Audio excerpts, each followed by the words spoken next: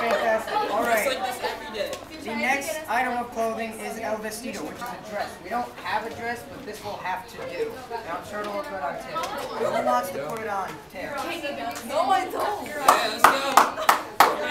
Someone, Lily, you. someone has to. That looks really nice. What's your name? Christian? Nice to meet you. How old are you, Christian? 12. 12? Tall Christian. Hola, what's your name? Giovanni.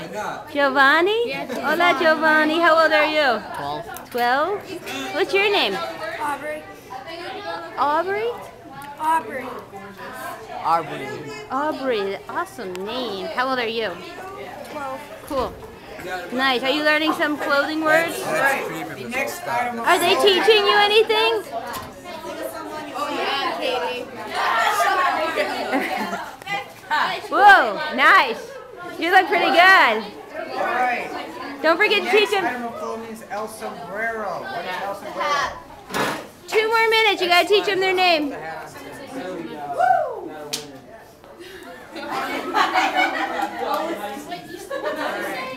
hat on Tim.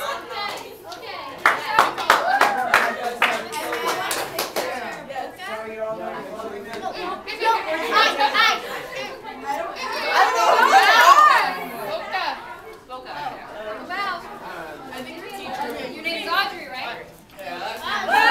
What?